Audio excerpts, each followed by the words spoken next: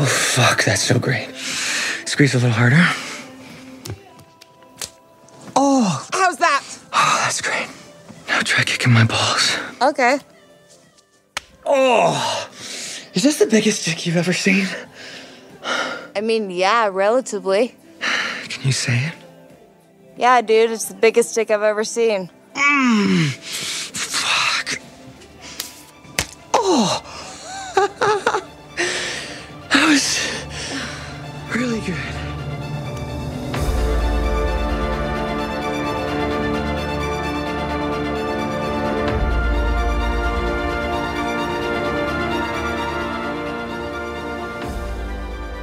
Hey, panelists, welcome back to the show. I'm Mark. And I'm Robert. And this is going to be a spoilerful podcast about Gen V Season 1, Episode 1, entitled God U. And like I said before, spoilerful. So it's been out for a couple of days. So if you got spoiled, I'm sorry.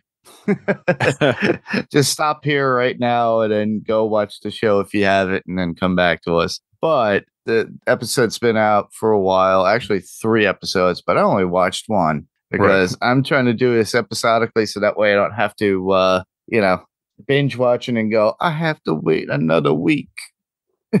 I could spread it out a little bit here and there until we get to actual uh, every episode if I wanted to, because they're, they're pretty long times for these uh, episodes. They're like close to an hour.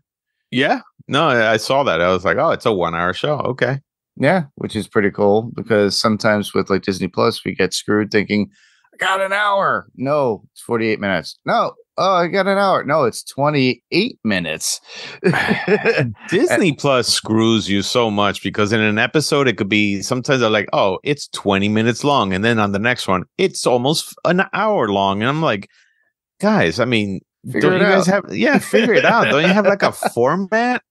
I, I just feel like it's the most dumbest thing because if you're going to try to put that episode, like let's say on regular TV, where now there's commercials and all these things, yeah. how are you going to do that? You're just going to say, oh, one week it's going to be half an hour, but the next week is going to be an hour and a half, you know, episode, or they're going to break it up. I don't know.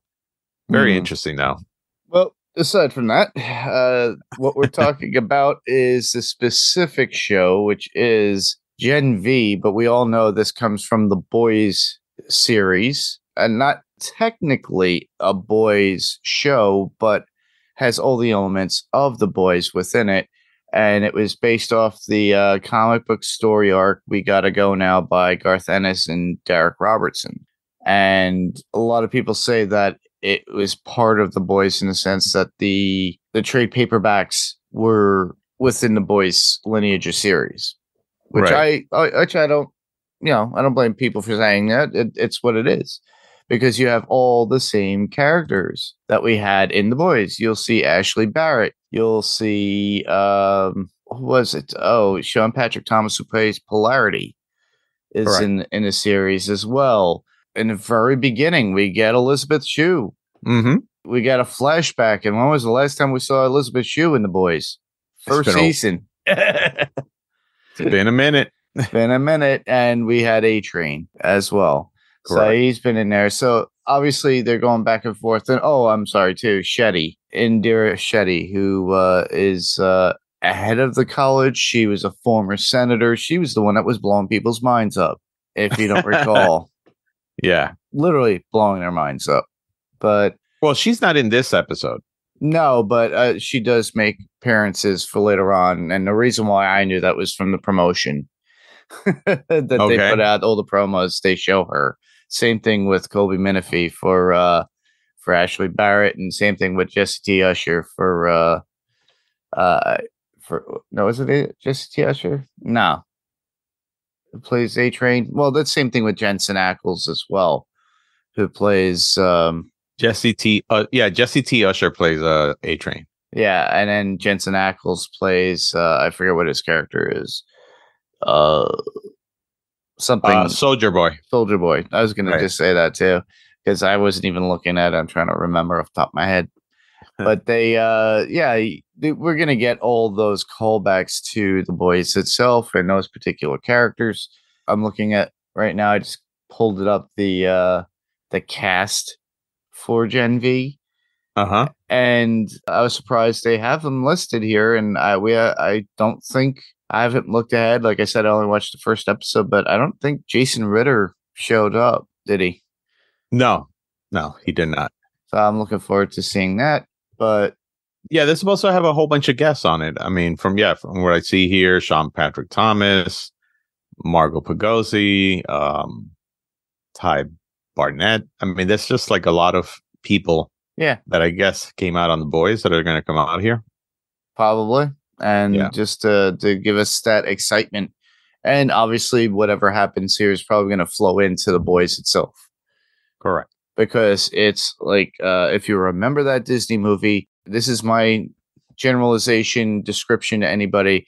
It's sky high on acid and sex and drugs. Literally, if you remember that Disney movie with Kurt Russell and uh, oh, I forget her name. It was uh, Travolta's wife, but they had a son that was going into a superhero school. Right. Uh, Uh, shoot, I don't remember Then I don't But, remember yeah. that. but regardless, I, I just would describe it as that for the fact that you know, at, at that point in that movie, he didn't get his powers until uh, puberty hit. He just hit him later on. Later on, that had Mary Elizabeth Winstead. Uh, like, yeah, not to be sidetracked, but I always do. But they, uh, it kind of gave me that feeling. It's like you had cliques, people who knew people. I started getting that feel within this particular movie. It's almost like a, a 90210 a Buffy high school kind of movie or show where it, it showed how people like the kids would separate themselves on being popular and Yeah, they having the different cliques in uh Yeah. in schools and stuff like that. Yeah. yeah and then also the the, the need to be on top so uh, it, it's like that on steroids or in this case somebody's crazy uh dream or nightmare but yeah, we, we got a variety of cast. The cast is very young in it, so I'm liking on Lizzie Broadway's character Emma, who I forget what they call her, uh, Tiny or I forget what her. Which one? She's the one that makes herself tiny. Oh, Lizzie. Yeah, Lizzie Broadway is her name. Uh, played by Emma Meyer. Yeah, yeah, she plays like little uh tiny Little Cricket is her little name. Little Cricket. That's what it was. I knew it was a Yeah. weird kind of name. I'm like, uh, little person is usually what I would think too. Right. No, Little Cricket. Maddie Phillips doesn't have a, a Q name. The only reason why is they had little cricket for for Emma, the character Emma is in it because she has her own YouTube, and Right. in, in the episode too, which I thought was pretty cool. But uh, before we get too crazy, I don't think I put in the actual synopsis. So with that, I'm gonna say what the synopsis is, and we'll go into it because this it's so funny how they. The title of the episode is "God U," which is taken from Godolkin University. Right. So, uh, God, you, what you think with all these kids, they have superheroes? Boom. That's the title. Uh, the synopsis is we jump forward to the present day where we find an 18 year old Marie Moreau, played by Jaz Sinclair, in a group home, just another cog in a foster care machine. Her goal, we quickly learn, is to land a spot at the prestigious Godolkin University so she could capitalize on her superhero abilities and make a life for herself. So that synopsis is kind of vague, but in the sense that, that it does what it needs to do. It just gives you an overall idea, but it doesn't really go into the twisty turny things that you, you get with Kate Dunlap, who's there, who's part of the clique. Same thing with Andre Anderson, who apparently his father is polarity. So you, could see the nudging of his father and how he does that attempt to do better and all that cool stuff. Clancy Brown's character, I think, was he the principal? He's like a dean or something like that. But yeah, he. Uh, I mean, are we doing spoilers? Yeah, it's spoilerful, dude. Yeah. So it's the fact that I thought. I mean, the way they made it seem through uh in the uh in the advertisement is that he was going to be a part of this show for a while, and it just turns out that uh he just kind of had a very short role in this. Yeah, They might they might show him, I guess, in flashbacks and other episodes. possibly. well, same thing with uh, Patrick Schwarzenegger, who plays uh, Luke Riordan, or what's Yeah. the name of it? God, uh, Golden Boy. So they made it sound like Golden Boy was like, oh, the big thing. And you're like, oh, he's going to be around forever. He's probably going to be this main character. Well, I, I guess so, in flashback form Yeah. if possible. But you, you get your click personality between, um, I would say, Andre, Kate, Golden Boy. Everybody wants to be part of that crowd. And the first introduction we get out of it is looks like some sort of fight club or fight day out in arena. Or, yeah, it's the typical jock. You know, you go to high school, you go to a, or, or any university where you see the jocks actually in the middle of the field practicing and things like that, and then you see the other students that are just probably on, the, you know, in the bleachers or whatever, just Yeah, watching just along. watching. Yeah. you know, some of them wishing that they could, you know, be there and things like that. But that's exactly what you see. And then you see all these different students with different abilities doing things, you know. So when it opens, you see this one girl, like she's benching, I don't know, 10,000 pounds or something like that, while the rest of the guys are benching like 45 pounds.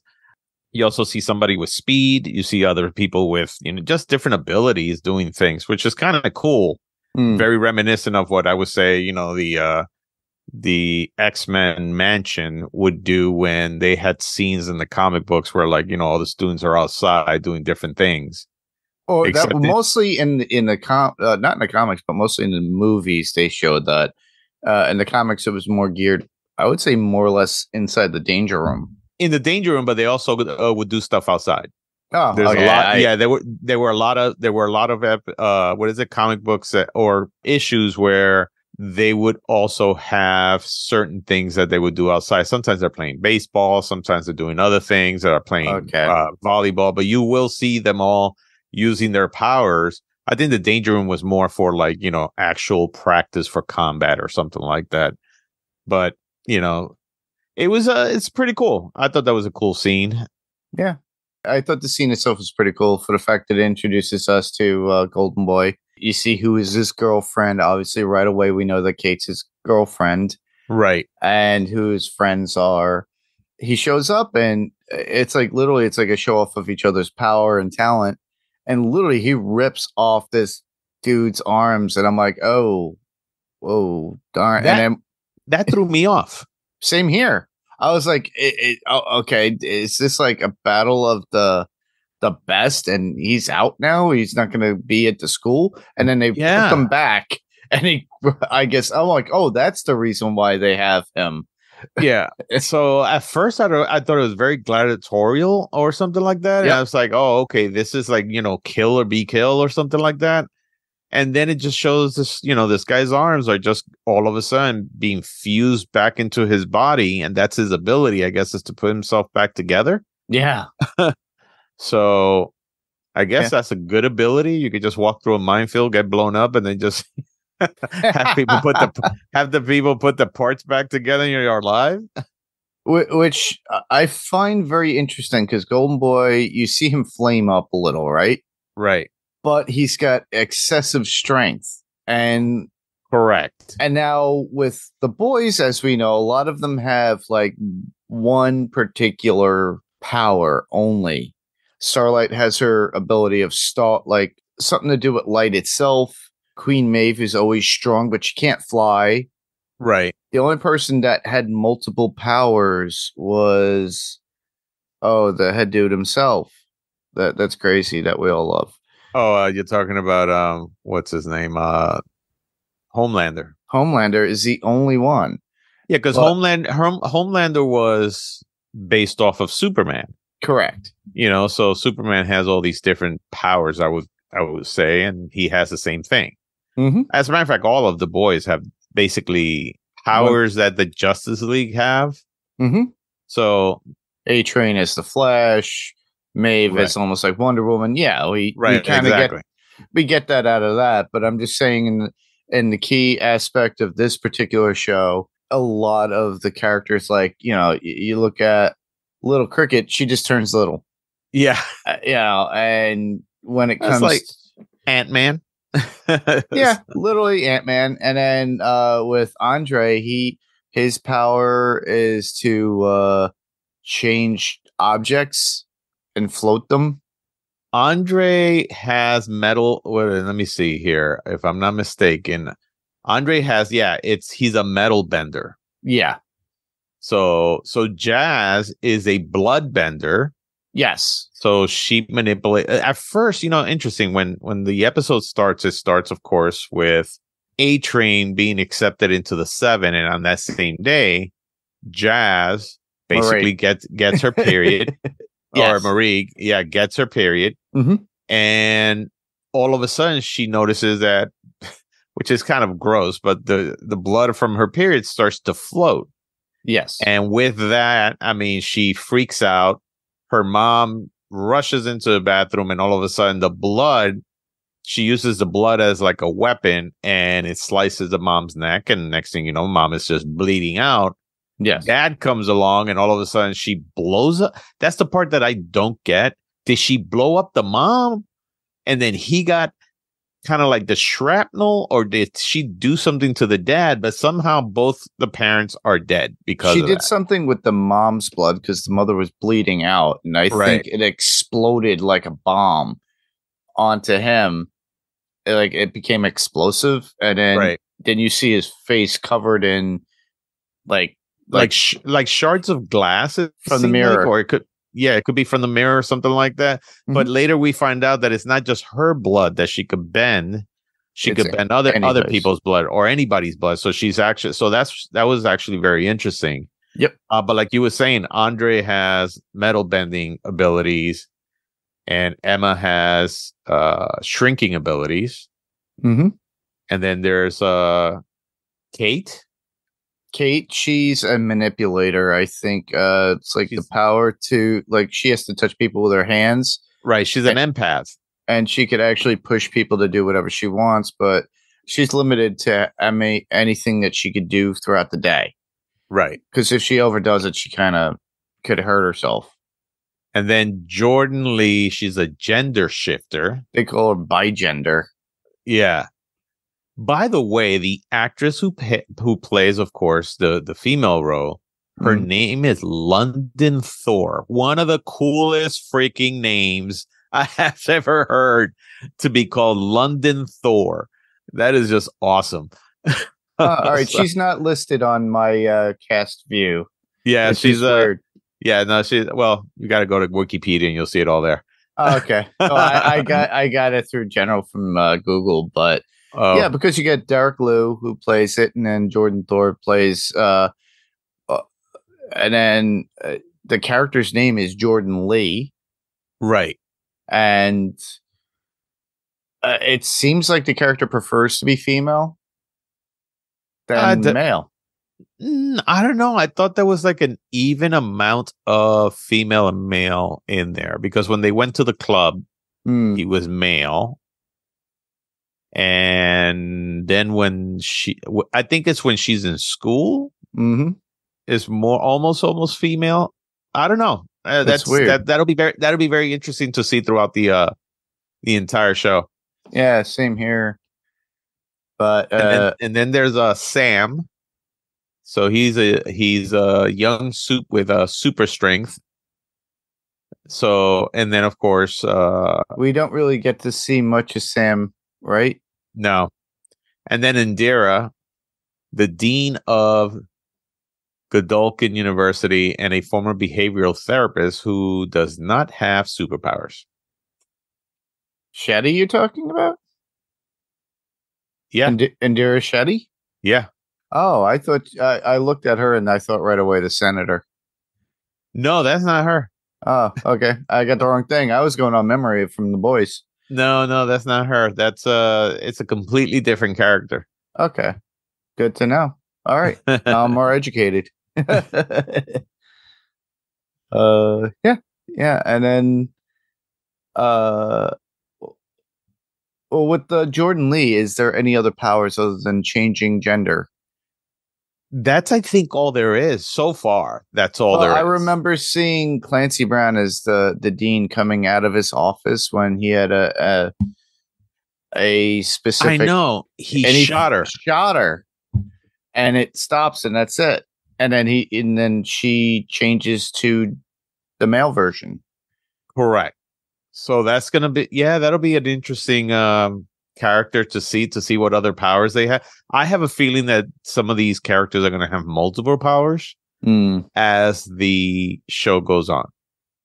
okay It's just a feeling because I mean, you're right. I mean, I just I I mean it says gender bending here, but um that one scene he stops a bullet. Yeah. Or I'm oh, it could be like this. It could be I th- oh, you know what? If you think about it, in male form, he's really strong and invinci- almost invincible. mm-hmm. And in female form, I think she d- has a different power. that's a possibility So I think that's what it is. I mean, all I, wa- I I watched it once, and I I would have to you know watch it again. But I think that's what's happening there. Same here. I watched it once, but that that was my. Uh, you guys, you listeners, tell us if uh, what you think about that too, because obviously I did not watch ahead, but uh, from the very beginning of this, uh, we talked about the how the clicks happen and how you see Emma as uh, Little Cricket tries to show Marie around, and Marie is trying to hide her background, where she came from. She doesn't want to tell people that she literally killed her parents and she was in a home where her powers are deemed dangerous and then she has to stay there until she's 18 before because if she doesn't get adopted or fostered into a home where people would take her because Right. she is dangerous she has to go to a different clinic that Vought has created for adults that are dangerous or or their powers have manifested because it seems to be something that's within uh, the communities, even though the government, the communities center around the idea of having people who are powered. That's still cliche of people not knowing that people bought Gen V and injected into their kid or took it as that just so they could get their kid powers to right. claim to popularity and be part of the seven and that's like seems to be the overall goal. Everybody wants to go to into the seven at, at a certain point. But yeah i i, I like that whole 90210 click click kind of thing especially when uh emma introduces uh, marie at, and their roommates obviously and the first thing that she sees her with is like trying to wrestle her hamster or what was it a gerbil or a hamster and uh, that was her It was yeah, it was like their gerbil. She's like fighting with the gerbil or something like that, which I thought it was funny. yeah and uh, oh i forget the name of the gerbil's name but apparently it was based after uh, an actor and uh, it was pretty funny but they um yeah i like i said i just watched it once i didn't go through it uh, like a few times but uh emma tries to show her around maria around and then i i guess that she didn't get the class she really wanted which was more of like more justice based so that way she could become like a crime fighter. I think it was part of the crime fighting labs or classes that they had and she didn't get in. And the person that turned her down was jordan lee who's head of admissions that works under the dean. And uh, not only did she almost not get into Godolkin University, but she almost didn't, you know, she didn't get the class either because uh, Jordan decides, no, you can't have it.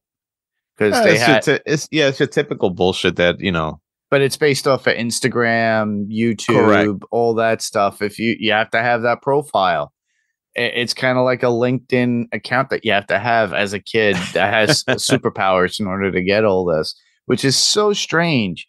But we get to see the clickiness of everything, of uh, how it is, and then uh, it kind of moves in out of that, and then we see Emma, and we see a little bit more about Emma. We know more about her power, how she becomes small and tiny, Right.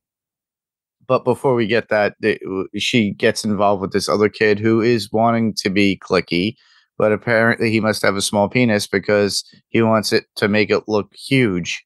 So we get that one scene, Rob, that you we were talking before recording, is like it reminds us of that episode. I what was it? Was that from, It was an episode where I forgot who it was that all of a sudden he goes right into some guy's penis, penis? Yep. and starts to, you know, rub the walls inside the penis. Well, this one, you see her shrinking down and just basically hugging his penis or something like that, which was crazy. And she's just like, like, it, it like hanging off of a big tree or something, just like trying to wrap her legs around it. And somehow she's just jumping up and down, I guess, masturbating him, but then kicking him in the balls. Balls. Yeah, and he likes the ball kicking. It was it was one of the most weird. Like I said to myself, okay, when this got filmed, one or two things. They either had the actor hug some kind of, you know, uh thing where it's all green screen, and then Yeah. later she was told, Hey, you're gonna be hugging a you know, it's a penis, but you know, whatever. Oh, they actually made it like a giant penis for her to like, you know, Yeah, be that but was, it was just wild. it was crazy. When I saw that, I was like, oh, and we're off. and uh, well, that was the one thing I saw too. I was like, all right, they better not go to the extreme and have an explosion. That's what I thought was going to happen. Yeah, And I, because all of a sudden she slides down the base yeah, and, sh- and she's at the base. And I said, if this man climaxes and they show all of a sudden her getting like just showered, I, I, I would have been like, I don't know how that get will get past any censor or anything like that. Well, it's rated M for mature, and it's like, you, yeah, I don't know. It's Amazon too, but well, it is kind of graphic in its own way. But then again, it's no graph more graphic than what we've seen with women's nudity back in the day too. right. So, but I I thought, yeah, you said it right there. It's like when you said, oh, and I hadn't even watched it yet. I was like, okay, that good. So that must mean they went they went nonstop with the first episode with either the wackiness, the craziness, or the blood. So obviously, in the very beginning with Marie, we see the blood. By the time we get to Emmett, Little Cricket, she's it's kind of more sexual, which we we got from the I think season two of the Right. boys, where it was like all sexualized, and then uh oh I I forget what they called the the orgy at the end of last season of the boys, Uh, but you know what I forget about? I, I forgot about you know the orgy or what they're naming, but yeah, no, it's I I just think that they're not holding back. no, they're, They're, not. just they're making sure that hey, they're going to be as extreme as the boys are. yeah, Um, because it's just you know there there's some great scenes all over the place, especially with the violence. Um, again, the arm ripping. Uh, and again, spoilers f- uh, for those who you know. Hopefully, you watched the uh, episode, but when um Patrick uh Patrick Schwarzenegger's uh character Golden Boy winds up. Golden Boy. yeah, he he flies up and commits suicide and explodes and all of a sudden it's just a a shower of blood raining down on everybody yeah, uh you see him also well you see when he kills tom Clan- uh what is it uh not tom clancy uh, Clancy, Brown's the the dean. Character, literally Richard, killed- yeah. I think Brink is his name, but or something like that. richard uh what is it richard oh i'm trying to get, get the last name here Yeah, I think it was like Brink Fink, something well, like. R- it, they, he is Brink. uh, well, Rich Brink, but his full name is Richard Brinkerhoff. Is Okay. the yeah, it's the actual name of the uh uh he's actually a professor. I thought he was more of a uh or at least here it says professor. It just seems like he was in charge of something, but It seemed like he was in charge, like almost like a dean. right. But I I took it as that he was more in charge of admissions more than anything with Jordan, and Right. like he kind of vetted the the students or worked in because it was his class that uh, Marie Moreau wanted. Right. and she didn't get it, and that's why she was trying to gain audience with him uh, w- within an appointment to see him to talk, and that's when Jordan was being a real pain in the ass and saying, "No, you can't go through." Right. But yeah, he, you see Golden Boy wind up like hugging him, holding him, burning him up.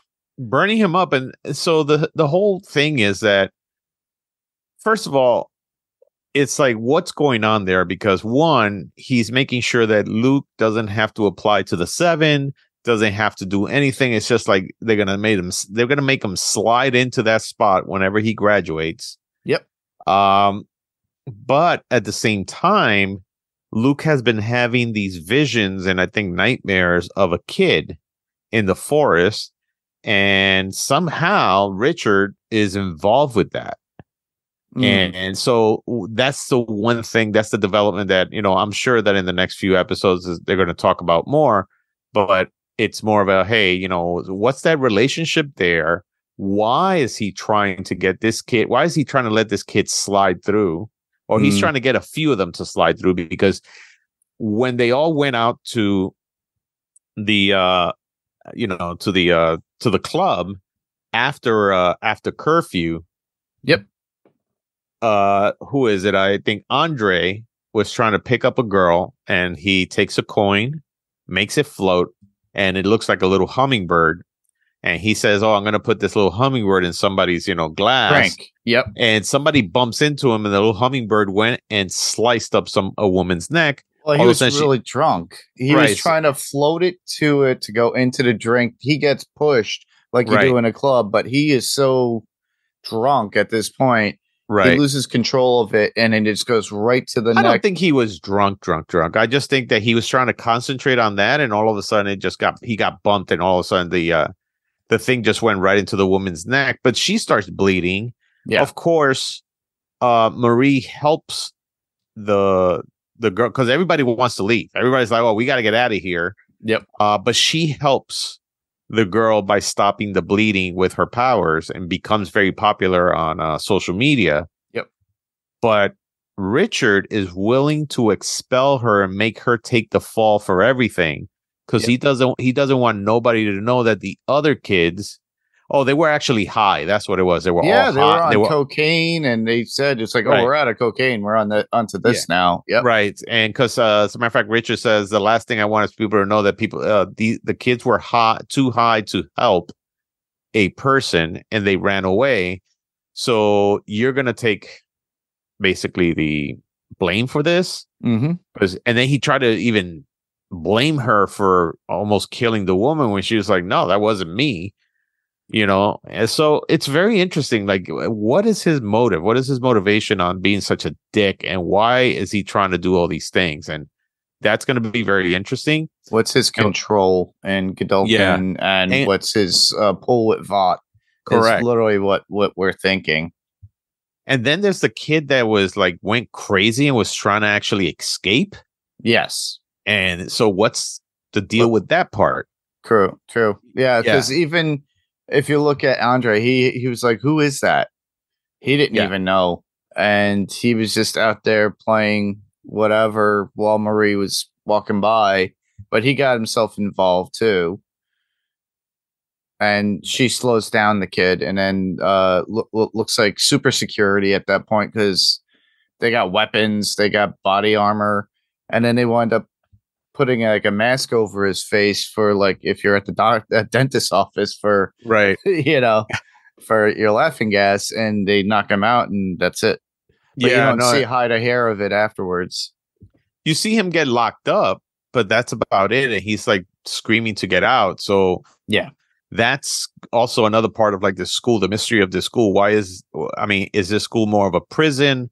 They make it seem like a prison, and uh, well, well it in the very seems like it- beginning they made it like a prison if like when marie showed up was uh going over her history which she was lying to emma uh, uh emma emma about when right, after she changes back from a little cricket uh, she tries to open the windows. She goes, "Oh, they won't open. Why? Because some kids were flying out and committing suicide or killing themselves.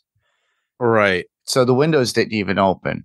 The windows don't open. What's interesting is that the windows don't open. There's when when Marie was going through the I guess the dorms, there was like this security and this uh what I would say this uh this type of doorway which is kind of ominous now because Hmm. you know, it's like it, I don't know. It's just a very different. It's a it's a some kind of security doorway, and then the security guard is just like looking at her, like you know, uh, like that. I'm watching you, kind of thing. Like the RN who is invisible that you Yeah. saw it in the bonus clip, and out of the blue, it's like he goes, "Well, we're we're having a meeting down there." It's like, "Oh, is this meeting gonna have you standing there with your dick out?" He goes, "My dick's out right now." yeah, no, they had some uh, they had some really cool stuff in there. Uh, it's again, this is a so far. I think it's a great episode yeah, on how it started. I'm very interested to see how it's going to progress from here. Yeah. You know? I I agree. Uh, to me, I'm interested in the sense that they uh, uh, look at the the actors that we have, that, which are the leads, so the, which are kids. They're playing kids. Obviously, they're in their 20s Right. because that's how everything is nowadays. Uh, that's like looking at Buffy the Vampire Slayer, 90210, Melrose Place. They're all playing younger kids or younger people, but they're usually about like eight to ten years older.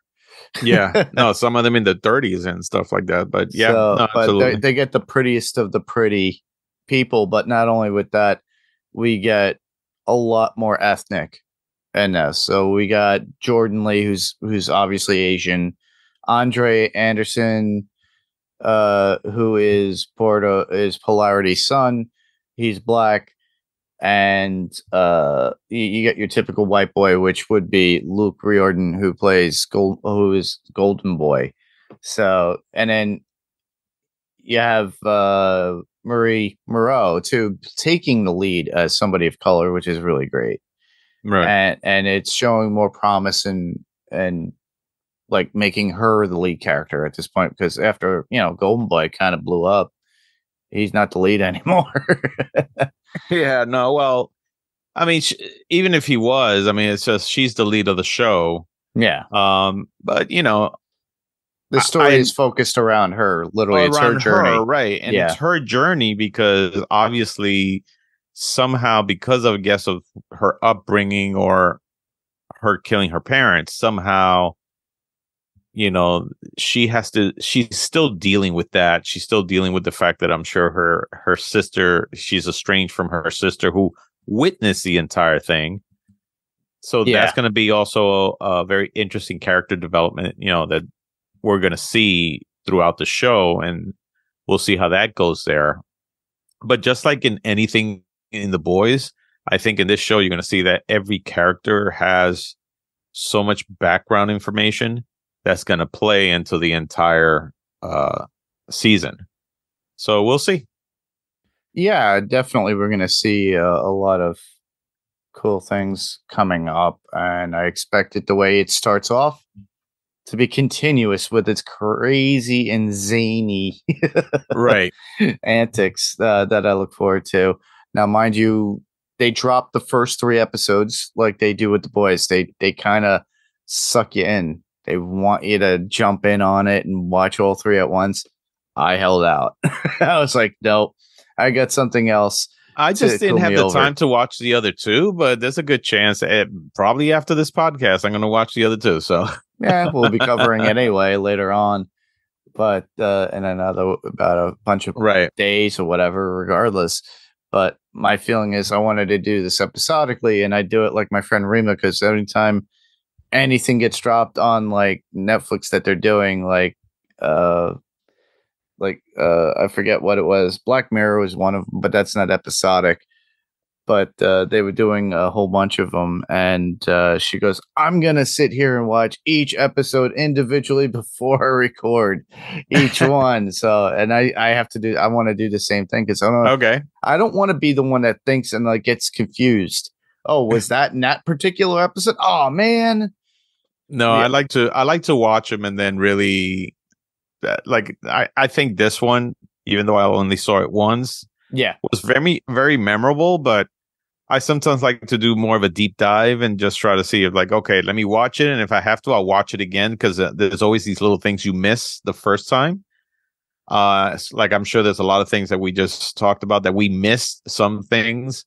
Uh but yeah, no, it's uh usually I try to do that. I'll, I'll watch it, enjoy it, and then I'll see it again just for the podcast, and now I analyze it. yeah. I guess. Little, Yeah. I, I try to do it like two or three times. Right. Usually, the first is like first impression. I got to enjoy it. Second is to analyze it. Third is to pull anything I can from it if there was anything really, really cool or something I questioned about it, or like maybe I had to type out whatever quotes. This one, I, I didn't. There's only like one quote that I liked out of the whole thing. Which one? Kick me in the balls? No, no, but it, it, it is a, a quote for Emma. And she goes, When Golden Boy flames on, his clothes burn off and he's uncut because I guess like he's impossible to cut. I put my tongue on that. And that's her saying Oh, that to Marie as they're sitting in the uh, in the bleachers waiting in the far back. Right. Uh, and I could see a girl saying that. It's like, oh, oh. I uh no, I didn't have uh I didn't have anything that you know stood out for me. yeah, that was the Uh, only one because I knew it was a little bit strange and out there, and that's what stuck with me. Yeah. The only thing I would say when um uh what's the character? Um Andre? When Yeah. he was trying to pick up the girl, he said the best that could happen is you come home with me. Um or if not the worst that could happen is that we just, you know, dance and have a good time. You know, and you could see that she was like, okay, I'm open to that.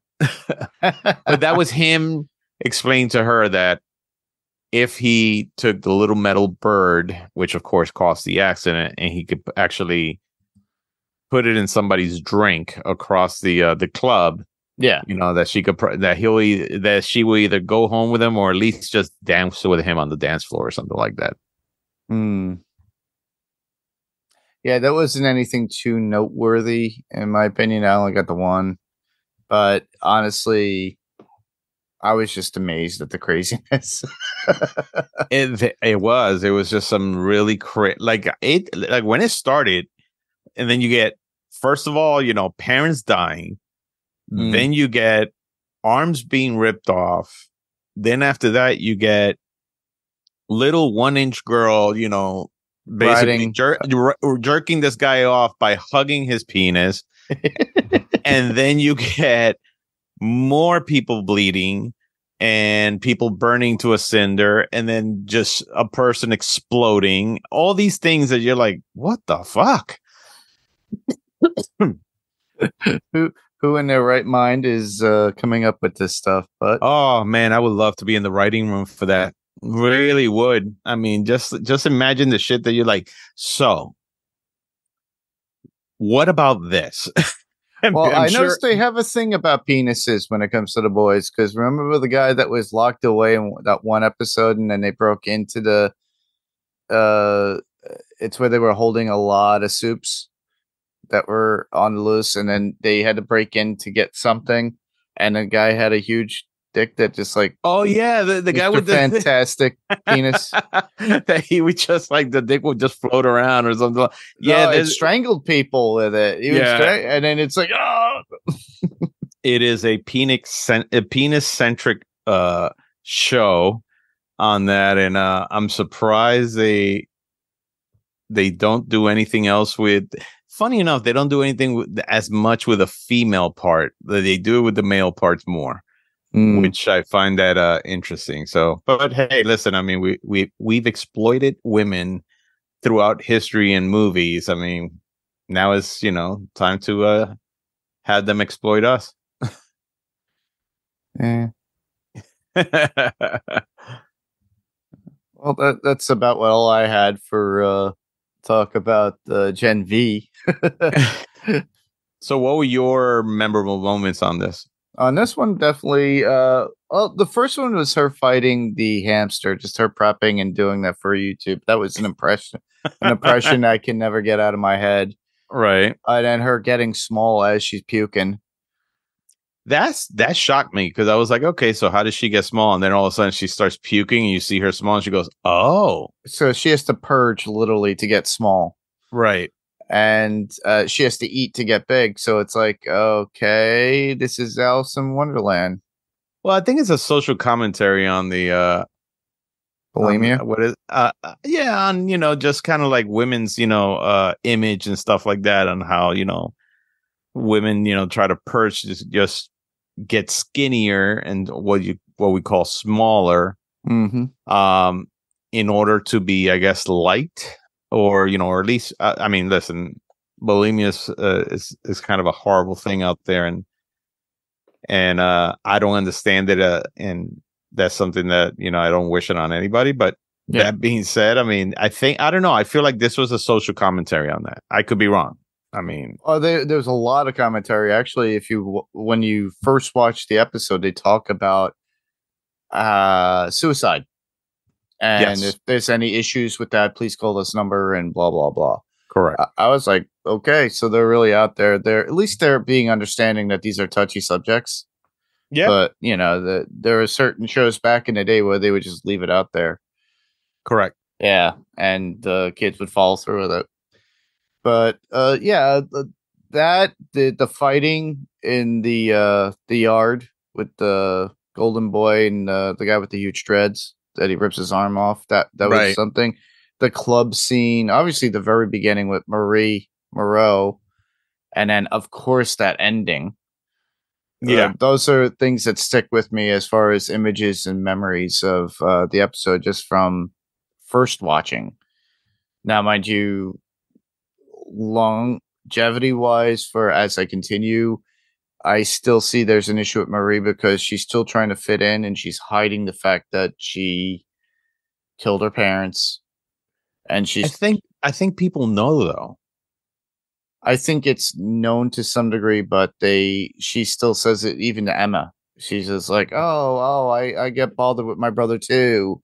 And Oh, it yeah. wasn't until later on the episode that it comes out to some, to somebody. Yeah, that that that's gonna be. I don't know. I mean, we'll see what happens there, and we'll see what happens with the sister because I'm sure there's gonna be scenes where she's trying to reconcile with the sister or something like that, or probably the sister might have, you know, maybe uh, uh, powers too at some point, and next Mm. thing you know, they throw down because of it. I don't know. That's That's that, a possibility. that's a possibility. I mean, listen, I mean, there's still the why is it that Luke actually killed himself?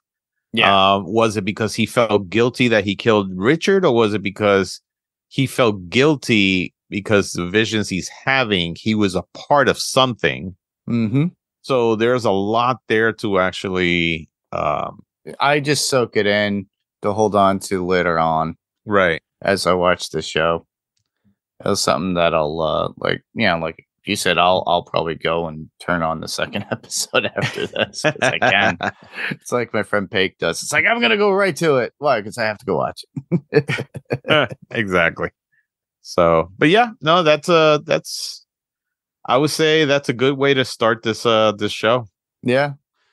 Um as I always used to say and still do and continue to say about feedback, we actually did get some feedback. Oh, okay. Not through Facebook, not through Instagram. Guess where? where? YouTube. Oh, look at that. Go figure. So uh somebody by the name of Hunting Violets. uh so Hunting Violet says on the first one now they did multiple because I guess they were watching or viewing the uh the podcast as we're doing it. And this is in regards to our coverage of uh Good Omens season two episodes three and four review. Episode two forty one on the podcast Right. and they say nothing hell could come up with for Nazis would be too bad, really. And I'm like, okay. And then they continue on saying, "Oh, the minisode doesn't take place in Nazi Germany." I think that was their response to me. Which, thank you for correcting me, Hun- Hunting Violets. It, it takes place in London during the Blitz, which is true. When when it is being bombed by Nazi Germany, Connie Willis's time traveling historians spend some time in the Blitz. Other places during this time in Blackout and All Clear. Yes, Beelzebub is basically chief operating officer of Hell. Yep, we we kind of discussed that later on, uh, towards the uh, the last two episodes, uh, and what we thought of him. So, and uh, Beelzebub was Hell's representative who came up to try to get Adam to go through with the apocalypse last season. So, uh, and then the last thing they say is the episodes are written by Neil Gaiman and John Finnemore. The minisodes are because they were minisodes, Rob, in between. I don't know if you followed along. No, I haven't actually seen the mini uh, mini episode. So They're they're part of the actual story for this season. So So where are they? Be- where are they being shown? They're actually in the episode. So literally you'll see like in the very beginning of of the first like the very first episode, you'll see Crowley standing there out in the middle of space and he's Okay. creating things with stars. And Aziraphale comes like flapping over, go, Hey, what are you doing? And it's them, and it was like the first beginning of time. He was making multiple uh universes uh, Crowley was making multiple universes. So this is like the very before the Big Bang. Right. And he goes, "Did you send that up to corporate?" He goes, "No, I just did Wait. Okay, I see what you're talking about. so it was like literally back in time. So it's like Right, right. it's their chance meetings or an encounter that they had or a story that they had together, and it shows their relationship over the course of time. right. and then they had that in the show. But uh yeah, these minisodes were very uh, written by variously by John Finnemore, Kat Clark, Jeremy Dyson, and Andy Nyman. So uh thanks, Hunting Violets. Uh, I'm glad you're listening. Glad you're sending in something. So if you have a little bit more detailed like thoughts on the podcast, it'd be great too. But uh, I'm glad that you uh, corrected me. But yeah, they uh it, the season two was very much like about the story of um, of Crowley and Aziraphale's relationship more. Right. Whereas in the first the first season was literally a beginning to end, like there's a whole story plot, and it's about the the son of Satan coming into fruition. And then they they have a beginning and end of it, but Crowley and Aziraphale part of it, and so is uh so is um yeah John Hamm's character, which uh, uh is eluding me but they uh but with this one it was more centric to the characters themselves Right. but uh yeah i'm glad it's like it's nice when you get uh feedback every once in a while so thank Cool. you Yeah, I, I I haven't seen the second episode, uh, the second season. I saw the first season, and I was, you know, I thought it was okay.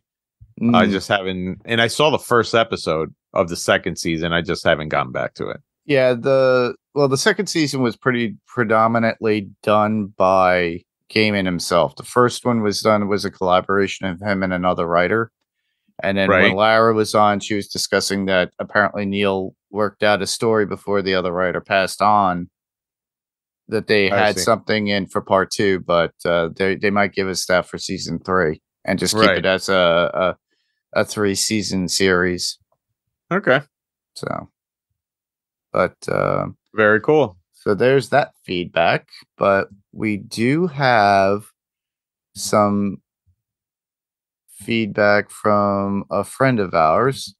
And I'm just setting that up right now. And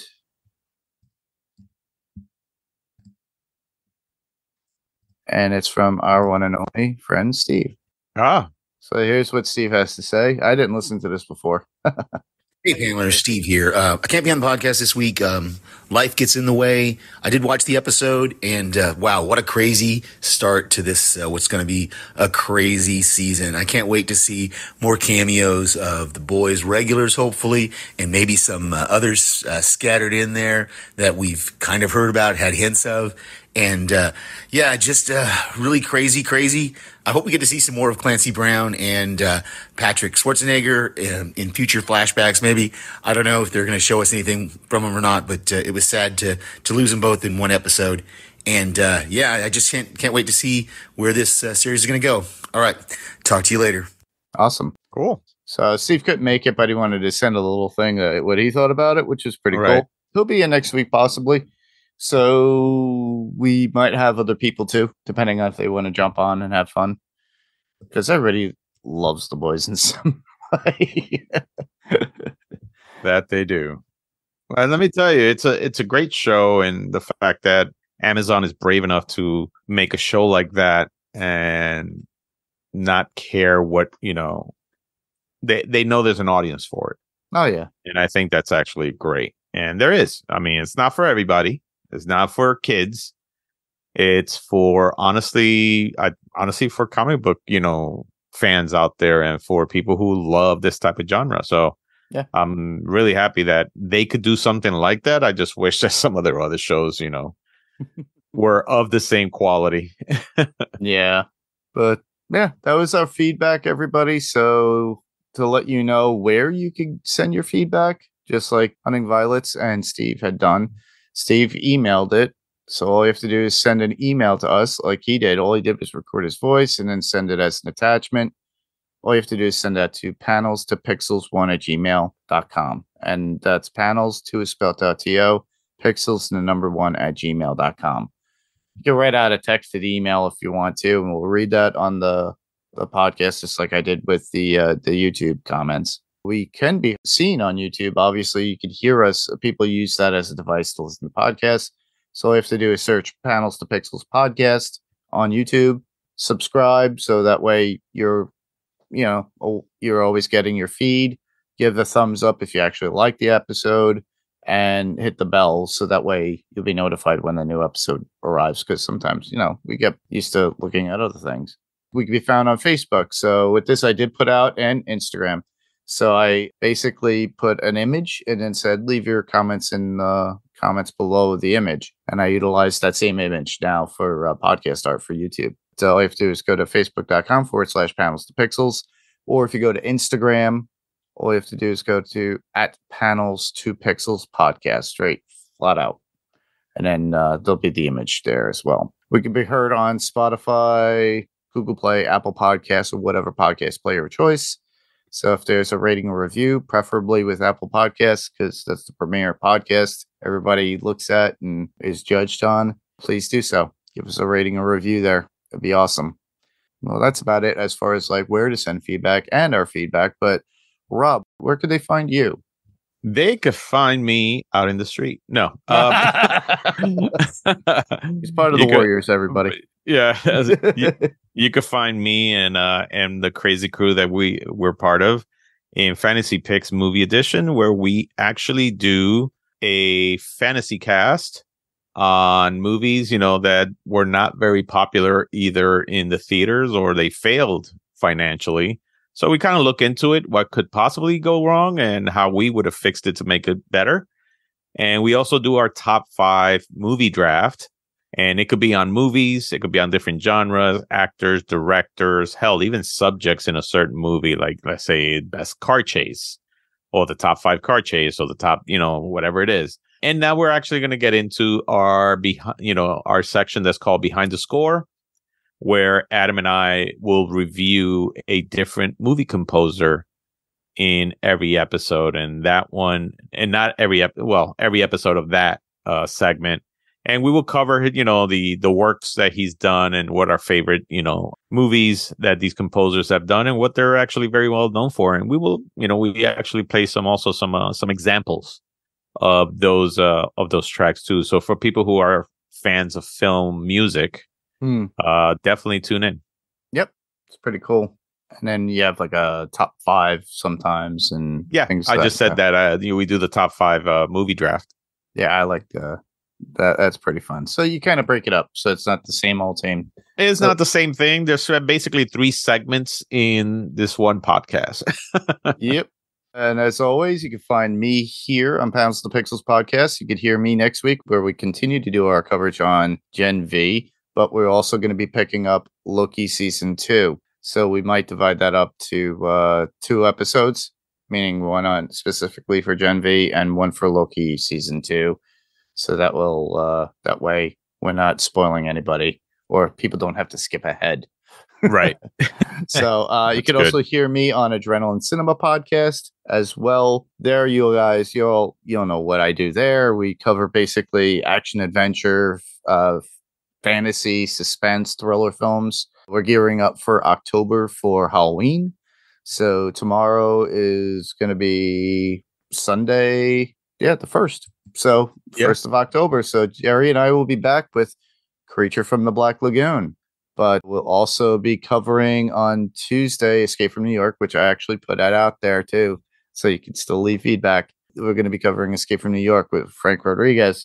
So uh, we got a lot of stuff in, in line for you guys to uh, check out for Adrenaline Cinema Podcast as well. Literally, just head to our Facebook page, which would be, you know, facebook.com forward slash Adrenaline Cinema Podcast, or you could go to at Adrenaline Cinema Podcast on Instagram. And then uh, you could check out all the other stuff because I posted it all. And then you could leave uh, some sort of feedback there. So you could hear me there as well. Other than that, that's about it. And that was Awesome. the podcast. Uh, I just want to thank everybody for listening. I'm Mark, I'm Robert. And different panel, different pixels, same podcast. This was Panels to Pixels podcast. We'll see you guys on the next panel. Later, everybody. Bye bye.